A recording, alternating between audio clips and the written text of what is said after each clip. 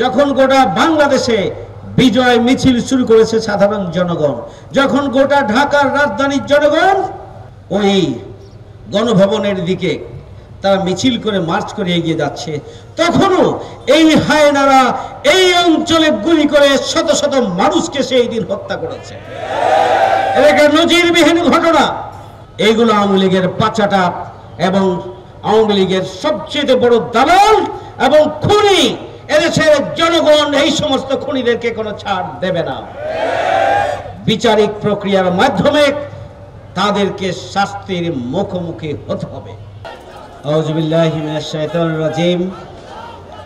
বিসমিল্লাহির রহমানির রহিম।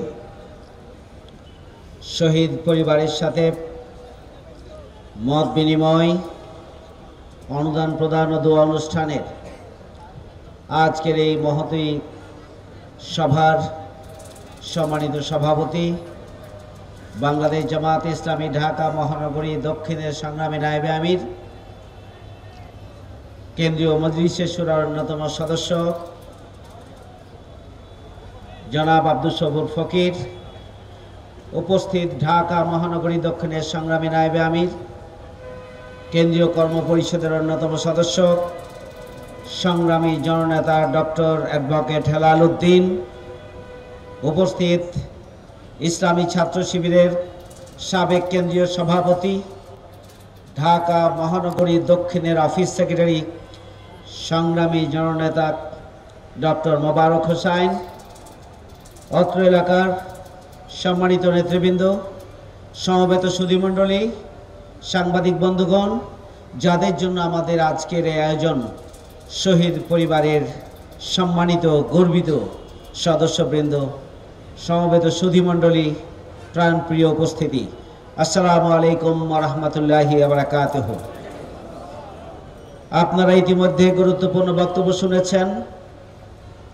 আমরা শহীদ পরিবারের বক্তব্য শুনছিলাম।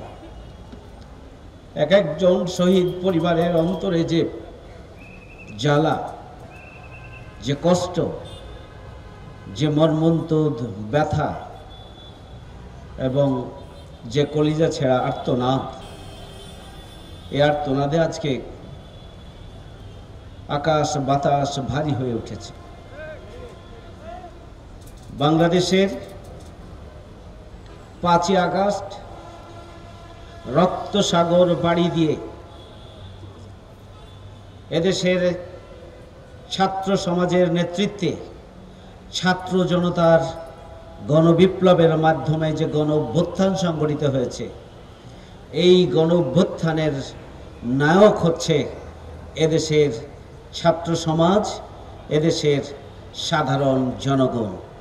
আমি ছাত্র জনতার এই ঐতিহাসিক বিজয়ের বীর সেনানী যারা, আমরা তাদেরকে সংগ্রামী শুভেচ্ছা এবং অভিনন্দন জানাই। আমরা শ্রদ্ধার সাথে স্মরণ করছি সেই সব বীর সেনানীদের, যারা নিজেদের জীবনের রক্তকে ঢেলে দিয়ে আমাদের এই প্রিয় মাতৃভূমিকে, এই দেশের আঠারো কোটি মানুষকে যারা মুক্ত করেছেন, আমরা তাদেরকে স্যালুট জানাই। তাদের প্রতি আমরা শ্রদ্ধার সাথে তাদেরকে স্মরণ করছি। যারা আহত হয়েছেন, পঙ্গু হয়েছেন, হাত হারিয়েছেন, চোখ হারিয়েছেন, আমরা তাদের প্রতিও আন্তরিকভাবে কৃতজ্ঞতা জ্ঞাপন করছি। তাদের সুস্থতার জন্য মহান রাবুল আলমিনের কাছে আমরা দোয়া করছি। আল্লাহ রাবুল আলমিন যেন তাদেরকে সুস্থতার নিয়ামত দান করেন। আমরা শহীদ পরিবারের সদস্য এবং যারা হতপঙ্গু হয়েছেন, যারা রক্ত ঢেলে দিয়েছেন, আমরা তাদের পরিবার পরিজনের কাছে, পরিবার পরিজনের জন্য আল্লাহ রাবুল আলমিনের কাছে আমরা সবরে জামিল যেন আল্লাহ রাবুল আলমিন জান করেন, সেই জন্য দোয়া করছি। পাশাপাশি দোয়া করছি আল্লাহ রাবুল আলমিন শহীদদেরকে যেন সর্বোচ্চ মর্যাদা দান করেন। আমরা দোয়া করি, আল্লাহ রাবুল আলমিন আহত এবং অপঙ্গু হয়েছেন যারা, তাদেরকে দ্রুত সুস্থতার সাথে সাথে এর আল্লাহ রাবুল আলমিন যেন স্বাভাবিক জীবনে তাদেরকে ফিরে আসার তৌফিক যেন দান করে। সম্মানিত ভাই বন্ধুগণ, আজকে আমরা একটি মুক্ত স্বাধীন বাংলাদেশে আমরা নিঃশ্বাস ফেলার সুযোগ পেয়েছি। আমরা কথা বলার সুযোগ পেয়েছি। আমরা মত প্রকাশের সুযোগ পেয়েছি। স্বাধীনভাবে চলাফেরার সুযোগ পেয়েছি। আমাদের স্বাধীন বিখণ্ড ছিল ক্ষত বিক্ষত। আমাদের সীমানা ছিল অরক্ষিত। আমাদের দেশ ছিল একটা বসবাসের অযোগ্য একটি ব্যর্থ রাষ্ট্র। আওয়ামী লীগ জুলুম, নির্যাতন, নিষ্পেষণ চালিয়ে বাংলাদেশকে বসবাসের অযোগ্য একটি দেশে পরিণত করেছিল। এদেশের বিচার ব্যবস্থাকে দলীয়করণ করেছিল। আইন বিভাগকে তারা দলীয়করণ করেছিল। স্বেচ্ছাচারিতা তারা কায়েম করেছিল। গণতন্ত্রকে ধ্বংস করেছিল। নির্বাচন ব্যবস্থাকে ধ্বংস করেছিল। তারা ব্যাংক লুটপাট করেছিল। দুর্নীতি, অনিয়ম, অনাচার, অবিচার এই সব কিছু মিলিয়ে বাংলাদেশ একটা বিধ্বস্ত, বিপর্যস্ত, বসবাসের অযোগ্য একটা বিখণ্ডে পরিণত হয়েছিল। আপনারা জানেন, শুধুমাত্র বাংলাদেশ জামাত ইসলামের শীর্ষ এগারো জন নেতাকে ফাঁসি দিয়ে জুলুম নির্যাতন চালিয়ে কারাগারে রেখে এবং বাইরে হত্যা করেছে তারা। শুধুমাত্র জামাত ইসলামের পাঁচ শত নেতা কর্মীকে তারা হত্যা করেছে এই ষোলো বছরে। তারা বিশ হাজার মিথ্যা মামলা দায়ের করেছে। লাখো লাখো নেতা কর্মীকে মিথ্যা মামলা দিয়ে ঘর ছাড়া করেছে, ব্যবসা ছাড়া করেছে, চাকরি ছাড়া করেছে। এমন কি স্বাভাবিক জীবন ধারণ পর্যন্ত তাদেরকে করতে দেওয়া হয়নি। স্বাভাবিক মৃত্যুর গ্যারান্টি পর্যন্ত ছিল না। এদেশের জামাত ইসলামী সহ এদেশের বিরোধী দলীয় নেতা কর্মীদের আপনারা জানেন যে লক্ষ লক্ষ নেতা কর্মীকে কারাগারে রাখা হয়েছে। রিমান্ডে রাখা হয়েছিল। গুম করা হয়েছিল। আয়না ঘরে রাখা হয়েছিল। এবং সব মিলিয়ে বাংলাদেশের মানুষ যখন অসহায়ত্বের একটা চরম সীমানা এসে অবতীর্ণ হয়েছে। চারিদিকে শূন্যতা হাহাকার। সাতই জানুয়ারি নির্বাচনের মাধ্যমে চতুর্থবারের মতো পিছন দরজা দিয়ে আওয়ামী লীগ ক্ষমতা এসেছে। সংগ্রামী ভাই বন্ধুগণ, এই আওয়ামী লীগ আঠাশে অক্টোবরের হত্যাকাণ্ড ঘটিয়েছে। এই আওয়ামী লীগ দু হাজার নয় সালের পঁচিশ এবং ছাব্বিশে ফেব্রুয়ারি পিলখানা হত্যাকাণ্ড সংঘটিত করেছে। চুয়ান্ন জন সেনা কর্মকর্তাকে চৌকস দেশপ্রেমিক তাদেরকে হত্যা করা হয়েছে নির্মম ভাবে আর বিডিআর বাহিনীকে বিচারের নামে প্রহসন করে তাদেরকে জেলখানায় আটকে রেখে তারা বিডিআর বাহিনীকে ধ্বংস করার মধ্য দিয়ে এদেশের ভৌগোলিক সীমানাকে অরক্ষিত করেছে। এই ফ্যাসিস্ট আওয়ামী অপশক্তি দুই হাজার তেরো সালের পাঁচই মে তারা শাপলা চত্বরে হেফাজতে ইসলামের আলেম মোলামা ছাত্রদেরকে তারা রাত ভোর গুলি করে জুলুম চালিয়ে, নির্যাতন চালিয়ে তারা সেই দিন গণহত্যা পরিচালনা করেছিল। শহীদের তালিকা পর্যন্ত তারা প্রকাশ করার সাহস পায়নি, তাদেরকে প্রকাশ করতে দেওয়া হয়নি। শুধু তাই নয়, কোরআনের পাখি আল্লামা দেলাওয়ার হোসেন সাইদি সাহেবের বিরুদ্ধে মিথ্যা রায়কে, রায়ের প্রতিবাদ করতে গিয়ে এদেশের প্রায় দেড় শতাধিক ছাত্র জনতাকে হত্যা করা হয়েছিল। এটিও আরেকটি গণহত্যা।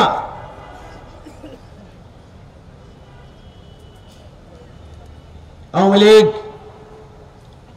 ফ্যাসিস্ট অপশক্তি যে কায়দায় বিরোধী দলের আন্দোলন সংগ্রামকে তারা ব্যর্থ করে দিতে চেয়েছে, ব্যর্থ করেছে রাষ্ট্র শক্তিকে কাজে লাগিয়ে, আইন শৃঙ্খলা বাহিনীকে সরকারের পেটুয়া বাহিনী হিসেবে কাজে লাগিয়ে তারা ষোলো বছর জুড়ে জোর জবরদস্তি করেই এই রাষ্ট্র ক্ষমতা তারা অবৈধ পন্থায় দখল করে রেখেছে।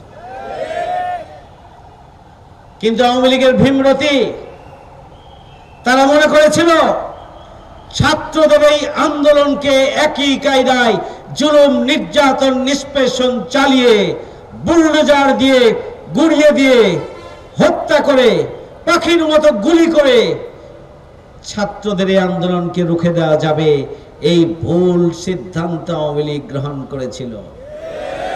ইতিহাস সাক্ষী, বান্ন ভাষা আন্দোলন ছাত্রদের বৃথা যায়নি। উনসত্তরের ভাষা উনসত্তরের ছাত্রদের নেতৃত্বে বৃথা যায়নি একাত্তরের স্বাধীনতা আন্দোলন ছাত্র নেতৃত্ব দিয়েছিল যায়নি নব্বইয়ের গণঅভ্যুত্থানের ছাত্র নেতৃত্ব দিয়েছিল বৃথা যায়নি শাসকের সাথকে ক্ষমতা ছাড়তে হয়েছিল। এবারের আন্দোলন ছিল ছাত্রদের নেতৃত্বে। একটা যৌক্তিক বৈষম্য বিরোধী আন্দোলনের ব্যানারে একটা যৌক্তিক আন্দোলন। সে আন্দোলনকে ব্যর্থ করে দেওয়ার জন্য সরকার রাষ্ট্র শক্তিকে কাজে লাগিয়ে নিশ্চিন্ন করতে চেয়েছিল এই আন্দোলনকে।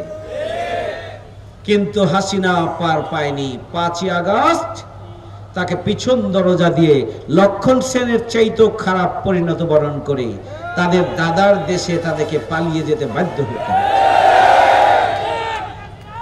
সংগ্রামী ভাই বন্ধুগণ এই করুণ পরিণতির জন্য হাসিনা দায়ী।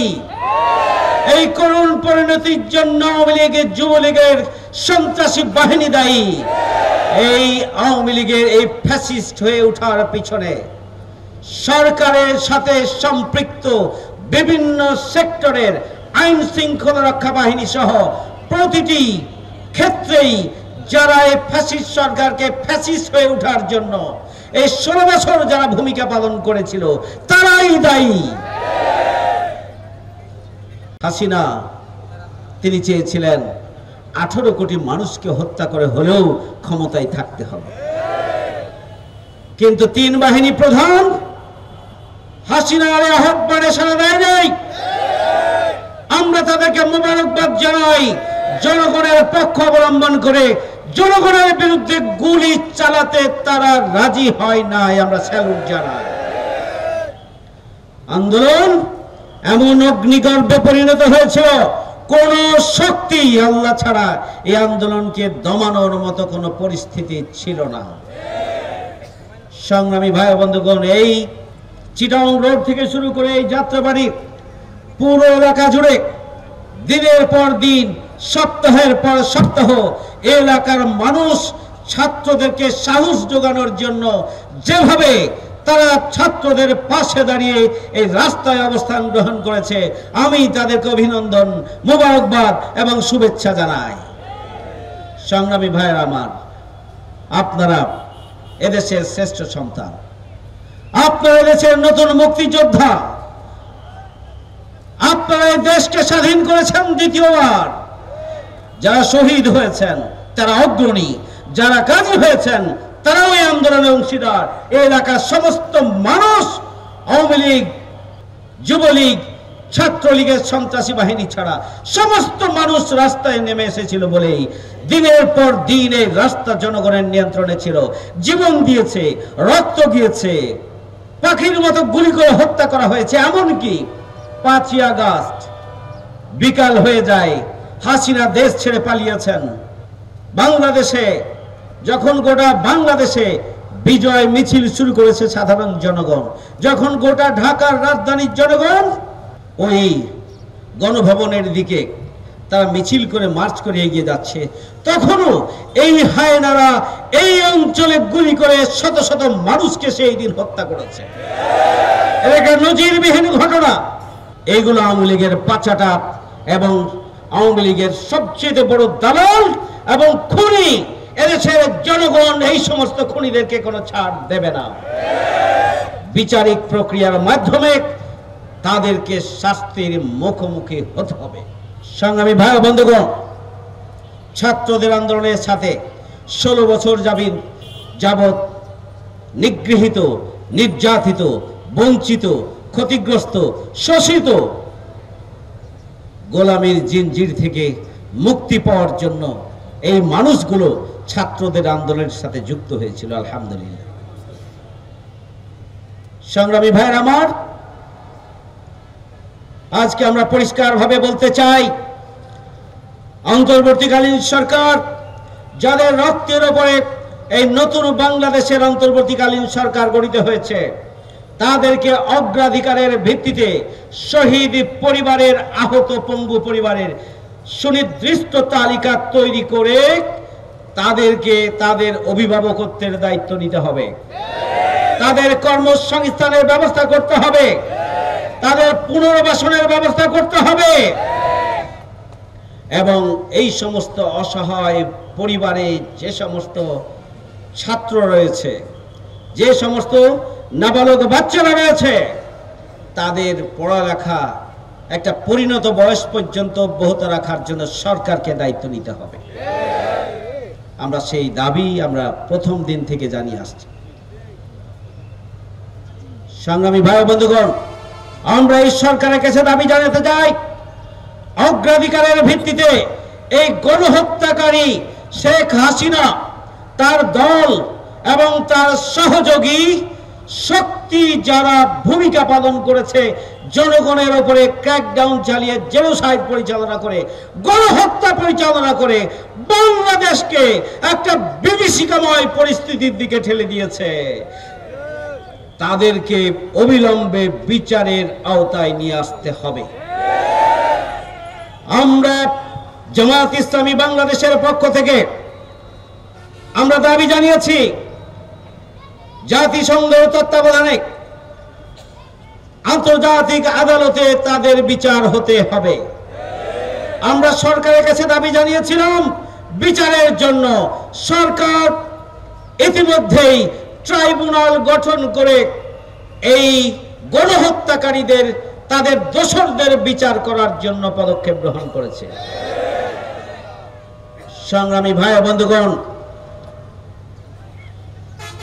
আপনারা জানেন, বাংলাদেশ জামাত ইসলামী একটি দায়িত্বশীল সংগঠন।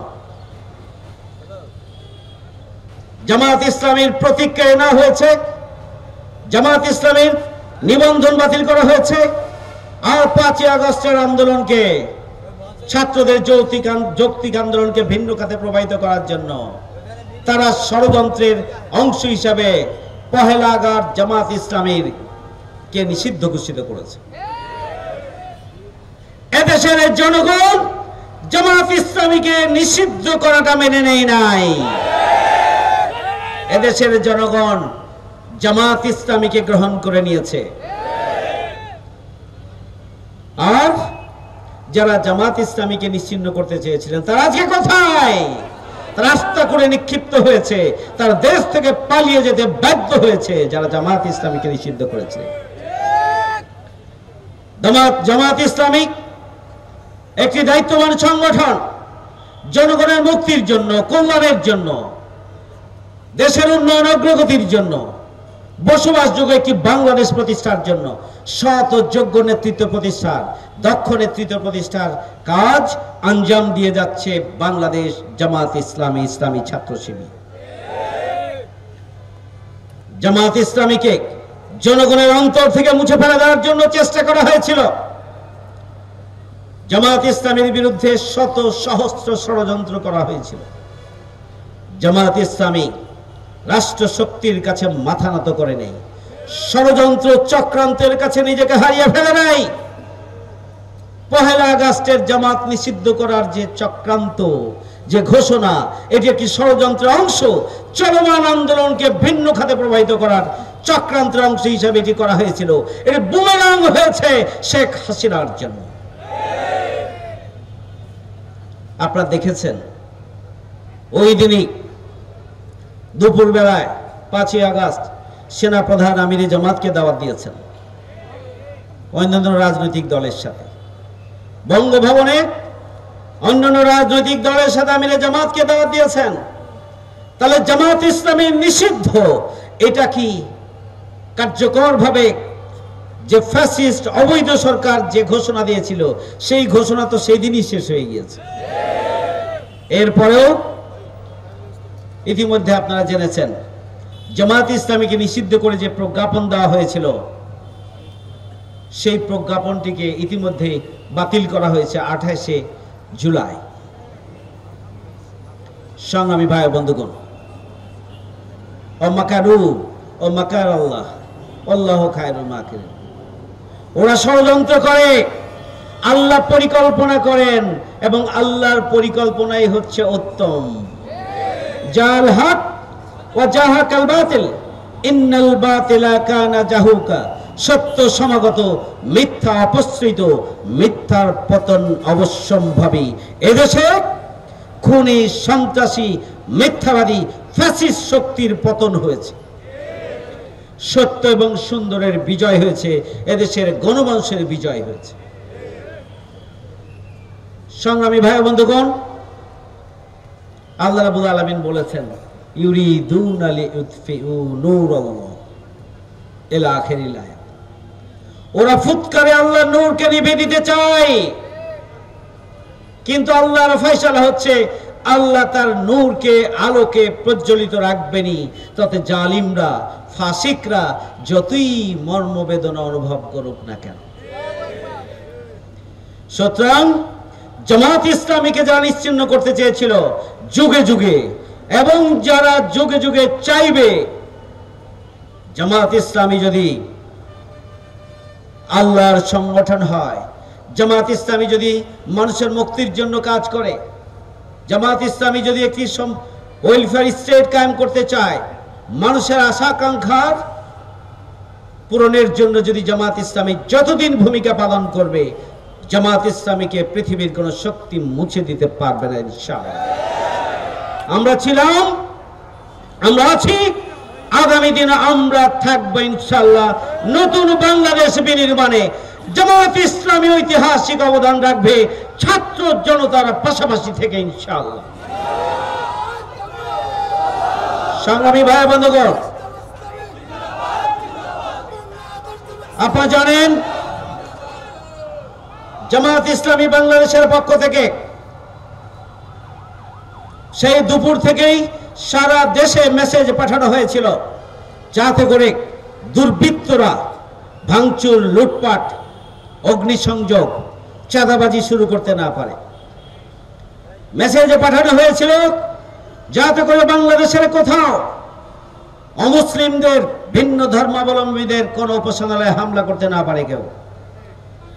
জামাতের পক্ষ থেকে বলা হয়েছিল, প্রতিটি ভিন্ন ধর্মাবলম্বীদের উপাসনালয়কে পাহারা দিতে হবে। আপনারা পাহারা দিয়েছেন না? যে যার ধর্ম, তার নিজ নিজ ধর্ম পালন করবেন, নিশ্চিন্তে নির্দ্বিধায় যদি কোনো সমস্যা হয়, আপনাদের পাশে আমরা আছি এবং আমরা থাকব সেটি আমরা ঘোষণা দিয়েছিলাম। আপনারা দেখেছেন, বাংলাদেশের যে বৌদ্ধ সম্প্রদায়, সেই বৌদ্ধ সম্প্রদায়ের যতগুলো কেন্দ্রীয় নেতৃত্ব আছে, বৌদ্ধ বিহার আছে, আমরা তাদের নিয়ে আমিরি জামাতের কে নিয়ে আমরা মত বিনিময় করেছিলাম, সেখানেও আমরা আমাদের কথা বলেছি। সংগ্রামী ভাই বন্ধুগণ, এক্ষেত্রে জামাতের ভূমিকা অনন্য। জামাত ইসলামী ইসলামী ছাত্র শিবির, এমনকি মাদ্রাসার ছাত্ররা ইসলামী দলগুলো বিভিন্ন জায়গায়, কোথাও কোথাও বিএনপিও বিভিন্ন জায়গায় পাহারা দিয়েছে। বিশেষ করে পাহারা দিয়েছে বিভিন্ন ধর্মাবলম্বীদের উপাসনালয়গুলোতে, যাতে কোনো কোনো চক্রান্তকারী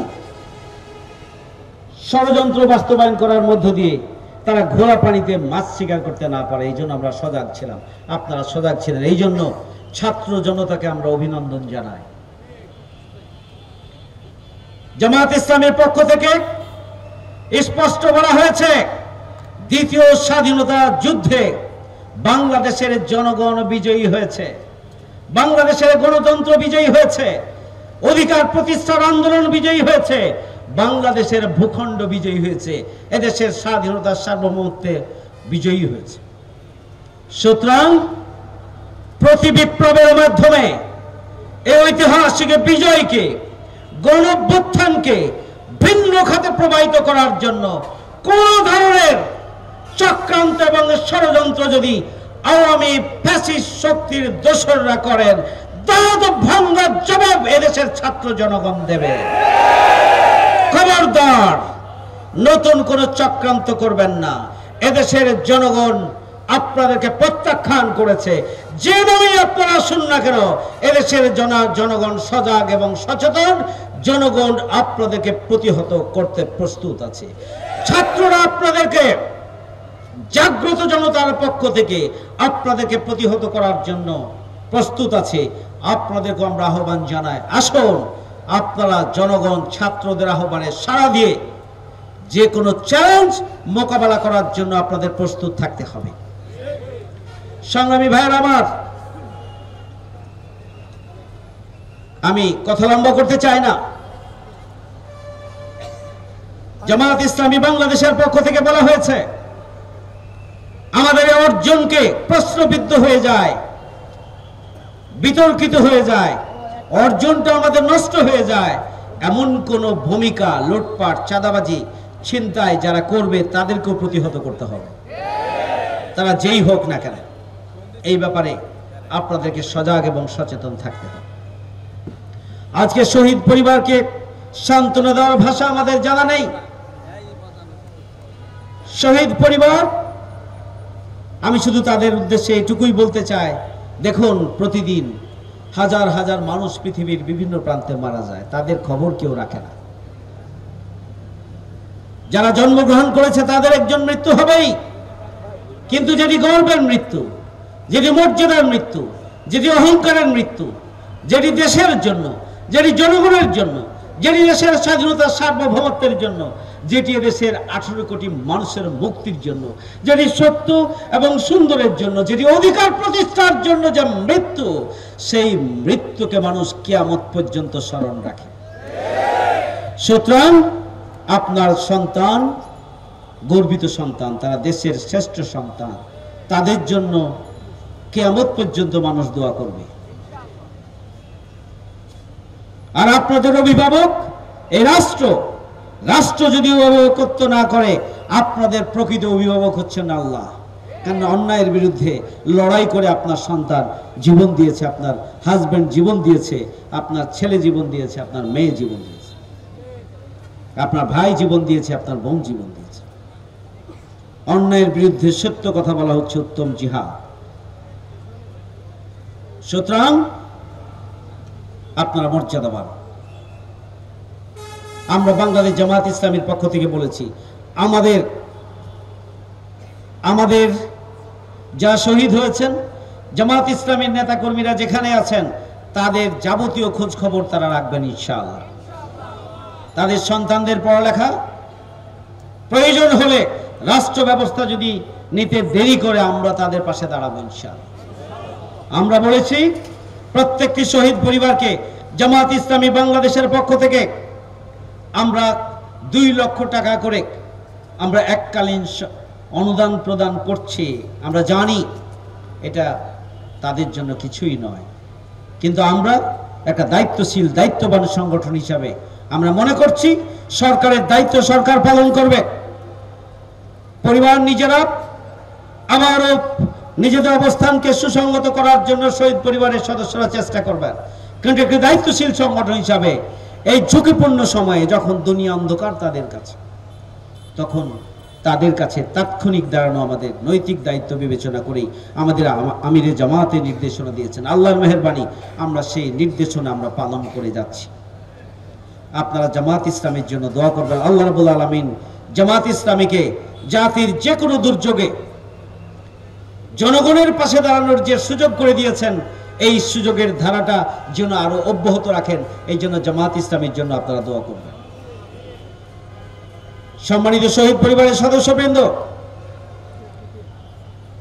একদিকে আপনাদের জন্য কষ্টের, অন্যদিকে আপনাদের জন্য গর্বের অহংকারের যে আপনার সন্তান স্বাভাবিক মৃত্যু হয়নি, দেশের জন্য মৃত্যু দিয়েছে জীবন দিয়েছেন, রক্ত দিয়েছেন, আহত হয়েছেন, পঙ্গু হয়েছে অন্যদিকে ওয়ালা তাকুলু লিমান ইউকতালু ফি সাবিলিল্লাহি আমওয়াত, বাল আহইয়াউ ওয়ালাকিন লা তাশউরুন যারা আল্লাহর পথে নিহত হয়, আল্লাহর বক্তব্য কি? যারা আল্লাহর পথে নিহত হয়, তাদেরকে তোমরা মৃত্যু বলো না, তোমরা জীবিত, কিন্তু তোমরা বুঝতে পারো না। অন্য জায়গায় আল্লাহ বলেছেন, তাদেরকে আল্লাহ রিজিকের ব্যবস্থা করে এটি আল্লাহর পক্ষে সম্ভব না? সম্ভব। সংগ্রামী ভাই বন্ধুগণ শহীদ পরিবারের প্রতি দৃষ্টি আকর্ষণ করে আমি বলতে চাই যে আপনার সন্তান সত্য সুন্দরের জন্য অন্যায়ের প্রতিবাদ করতে গিয়ে, অধিকার প্রতিষ্ঠা করতে গিয়ে তারা জীবন দিয়েছেন, সুতরাং তারা আল্লাহর পথেই জীবন দিয়েছেন। অতএব আল্লাহ বলছেন, তাদেরকে মৃত বলো না, তারা জীবিত, তারা আল্লাহর পক্ষ থেকে রিজেক্ট পায় তারা জীবিত, কিন্তু তোমরা তা বুঝতে পারো না। আল্লাহ রাসূল সাল্লাম বলেছেন যে ব্যক্তি শহীদ, শাহাদাতের সময় তাকে যেভাবেই হত্যা করা হোক না কেন, সেই সময়ে তার কষ্ট অতটুকু অনুভব হয়। একটা পিঁপড়া যদি কামড়ায়, তাহলে যে পরিমাণ কষ্ট অনুভব হয়, একজন শহীদ ব্যক্তি শাহাদাতের সময় সেই পরিমাণই কষ্ট অনুভব করে। তাকে যেভাবেই হত্যা করা হোক না কেন। আল্লাহ রাসূল সাল্লাম বলেছেন যে ব্যক্তি আল্লাহর পথে শহীদ হয়, তাদের শহীদের রক্ত মাটিতে স্পর্শ করার সাথে সাথে তাকে জান্নাত দেখানো হবে। সম্মানিত শহীদ পরিবারের সদস্য সদস্যবৃন্দ, শুধু তাই নয়, আল্লাহ রাসূল সাল্লাম বলেছেন, যে ব্যক্তি আল্লাহর পথে শহীদ হয়, তাকে আল্লাহ রাব্বুল আলামিন, যারা জান্নাতে যেতে পারবে না, এমন সত্তর জন পরিবারের সদস্যকে জান্নাতে নিয়ে যাওয়ার জন্য তিনি সুপারিশ করতে পারবেন ওয়া বিহামদিহি। সুতরাং শহীদ পরিবারের সদস্যরা, সম্মানিত গর্বিত সদস্য ভাইদের, আমি বলব যে ইসলামের যে দৃষ্টিভঙ্গি, সেই দৃষ্টিভঙ্গির আলোকে, ধৈর্যের সাথে আপনি নিজেকে যদি বোঝ দিতে পারেন, ধৈর্য ধারণ করতে পারেন, তাহলে আল্লাহ রাব্বুল আলামিন আপনার ধৈর্যের জন্য উত্তম পুরস্কার আল্লাহ আপনাকে দুনিয়াতে এবং আখেরাতে দান করবেন ইনশাআল্লাহ। এ দেশ আপনাদের সাথে আছে এবং এদেশের জনগণ আপনাদের সাথে থাকবে। বিশেষত এই শহীদ পরিবার আহত এবং পঙ্গু পরিবারের সাথে। আমরা বাংলাদেশ জামাত ইসলামী তাদের সুখে দুঃখে, ভালো মন্দতে সব ব্যবস্থায় আমরা তাদের পাশে থাকব ইনশাআল্লাহ। আমি আমার বক্তব্য এই কথা বলে শেষ করতে চাই যে আসুন, আমরা সবাই মিলে দ্বিতীয় যে স্বাধীনতা অর্জনের পরে আসুন সবাই মিলে কাঁধে কাঁধ মিলিয়ে আমাদের এই প্রিয় মাতৃভূমিকে আমরা গড়ে তুলি। আমরা বৈষম্য মুক্ত স্বাধীন, সার্বভৌম একটা শক্তিশালী বাংলাদেশ গড়ে তোলার জন্য নিজ নিজ অবস্থান থেকে আমরা ভূমিকা পালন করি। সে আহ্বান জানিয়ে আমি আমার কথা এখানেই শেষ করছি। সবাইকে ধন্যবাদ। আল্লাহ হাফেজ। আসসালামু আলাইকুম ওরহমতুল্লাহ জামাতে ইসলামী বাংলাদেশ জামাতে ইসলামী বাংলাদেশ জামাতে ইসলামী বাংলাদেশ। গড়বে গড়বে, আল্লাহর হুকুমাত। গড়বে গড়বে খেলাফতে রাশেদা। জনগণ নন্দিত পরিবেশ, কোরআনের কাঙ্ক্ষিত পরিবেশ। জনগণ নন্দিত পরিবেশ কোরআনের কাঙ্ক্ষিত পরিবেশ। নীলিমা নতুন কথা বলবে নদীরা দ্বিগুণ বেগে চলবে। নীলিমা নতুন কথা বলবে নদীরা দ্বিগুণ বেগে চলবে। বইবে দক্ষিণা নিয়ে ফাগুনের রেশ। জামাতে ইসলামী বাংলাদেশ, জামাতে ইসলামী বাংলাদেশ, জামাতে ইসলামী বাংলাদেশ, জামাতে ইসলামী বাংলাদেশ। পাখিরা নতুন গান গাইবে, শিশুরা নতুন প্রাণ পাইবে। পাখিরা নতুন গান গাইবে, শিশুরা নতুন প্রাণ পাইবে। উঠবে নতুন এক সূর্য অশেষ। জামাতে ইসলামী বাংলাদেশ, জামাতে ইসলামী বাংলাদেশ, জামাতে ইসলামী বাংলাদেশ জামা